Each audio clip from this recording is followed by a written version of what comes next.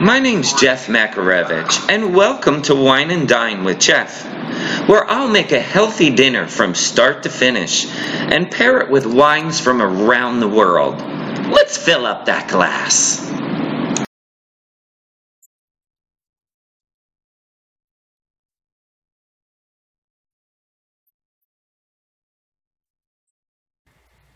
Hi, I'm Jeff Makarevich, and welcome to Wine and Dine with Jeff. Today we're making Peppadew pepper chicken bake. It only has six ingredients in it, but packed full of flavor. Everything you see here on the counter is the only things that go in it.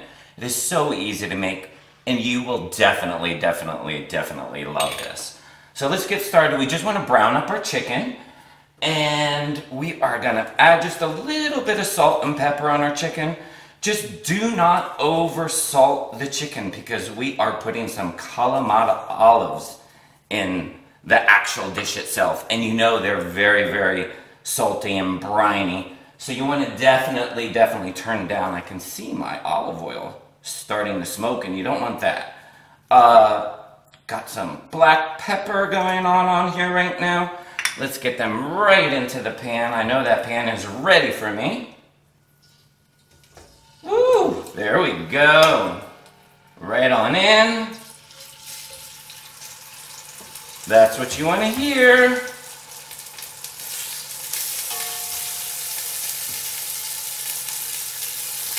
Okay.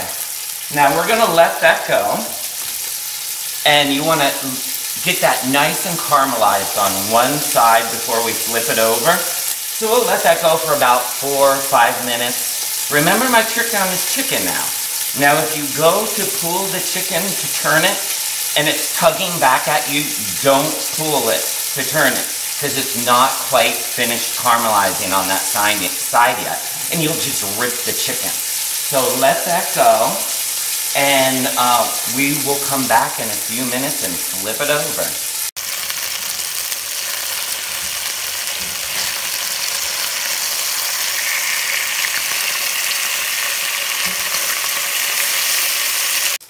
Our chicken is nice and caramelized. So we're just going to dump in right to the same pot, not even take the chicken out, the onions, right on in. And all the exact measurements are right down below in the description center. And some garlic. I have six cloves of garlic in there. And we're just going to let them sweat out for a few minutes in here. Get them off the chicken onto the bottom of the pan. And let them sweat out a little bit. Just a few minutes, that's all it takes. And talk about our Peppadew peppers. A lot of people don't know what they are. They are so good. They are an African pepper. They're very, very sweet. A lot sweeter than our American red pepper. So they're sweet with spice. So they got a nice little kick to them. And it just really brings huge flavor to this dish. And you can get them at, uh, at most stores. They usually come jarred. I find them in the deli section. And if you can't, you can go to peppadew.com. I'll put that below in the description center. These are so good. Oh my god. Ooh, and a nice little kick too. And the Kalamata olives just bring that whole little layer and layers of flavor. Now while that is getting all nice and sweated out here in the bottom of our pan, talk about this beautiful, beautiful wine that we have today. This is a beautiful Tercero Grenache up in the Los Olivos area in California, which is the San Santa Ynez Valley. It is so beautiful. It has notes of strawberry and blackberry. Mm. And not a lot of tannins and bite, which is perfect because we have the bite already going from these Peppadew peppers. So we want a little bit of like berry notes to pull back on that heat and everything. So this will go perfect with it. I really want you to try this wine. I love this Grenache. It is very, very, very good.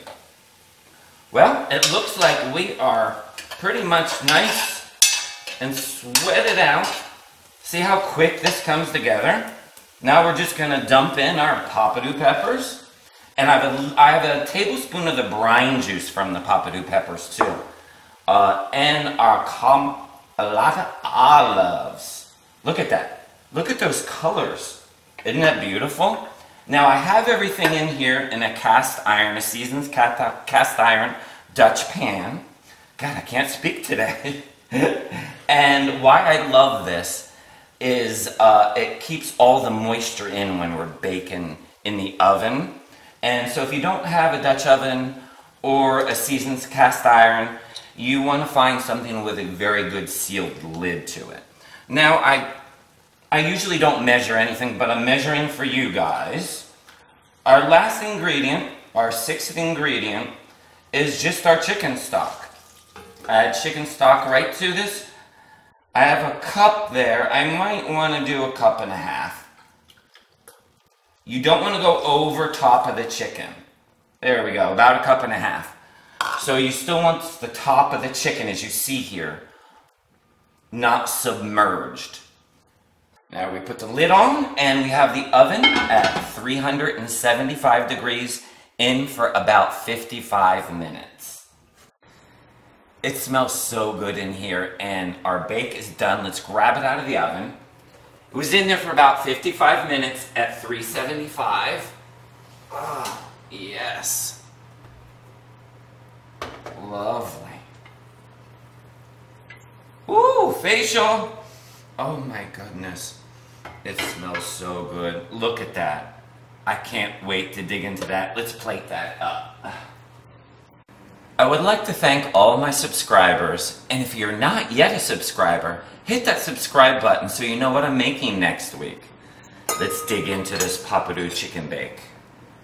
Oh yes, I gotta get a little of everything, a little bit of the pepper, a little bit of the kalamata.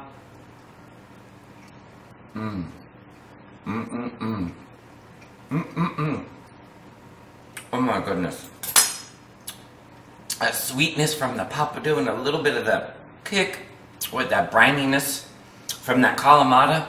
This is a winner. I can't wait for you guys to try this. And so easy. Six ingredients. Thanks for stopping by Wine and Dine. And I can't wait to see you next week.